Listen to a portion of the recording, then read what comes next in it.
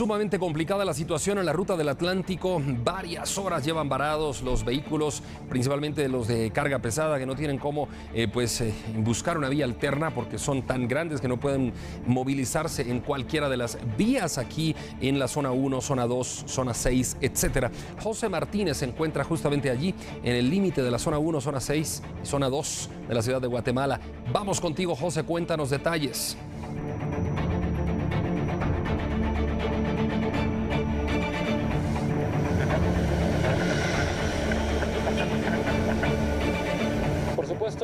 Amigo televidente, le tenemos información desde la unidad móvil de T Noticias cuando son las 6 de la tarde con 31 minutos.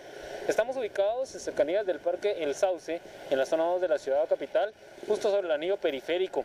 Vea usted, justo detrás de mí, los eh, vehículos del transporte pesado están totalmente varados. Ellos nos indicaron hace algunos momentos que tienen más de 3 horas de estar con los vehículos completamente apagados. Esto porque la cola que está llegando hasta este punto es producto de una manifestación que se está llevando a cabo en el kilómetro 5.5 de la ruta al Atlántico. La información que se tiene es que desde horas de la mañana un grupo de personas estaba manifestando, estaban haciendo ver pues algunas inconformidades.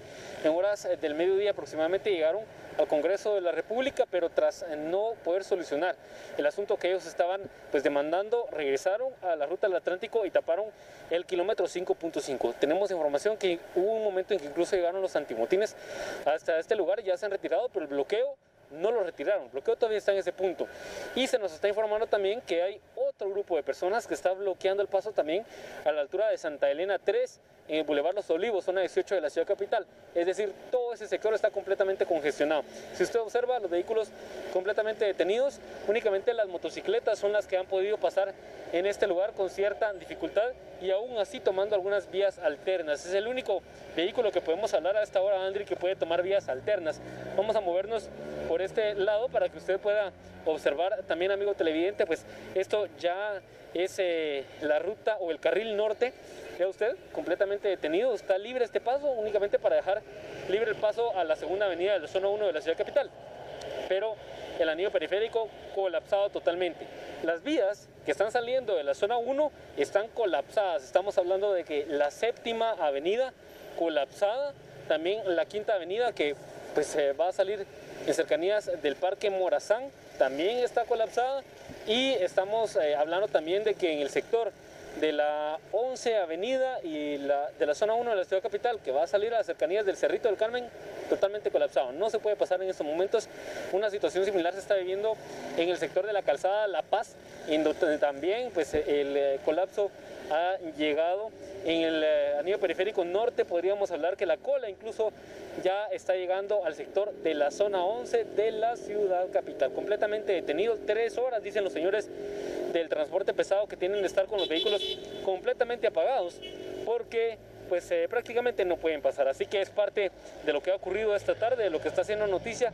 Este bloqueo no se ha retirado según la última información que nosotros eh, tuvimos y todas las personas que necesitan ir al sector de la zona 6 y de la zona 18, zona 24 y 25 simplemente no pueden pasar. Así que por favor amigo televidente, tenga usted paciencia, planifique su salida si tiene que ir a ese lugar y puede hacerlo más tarde, mejor que lo haga más tarde, porque si sale en este momento lo que va a pasar es que se va a venir a encontrar con colas como esta. Así que es parte de la información, Andri, que le podemos trasladar a esta hora de la tarde desde la unidad móvil de TN23. Con imágenes de José y regreso al estudio central. Muy buenas tardes.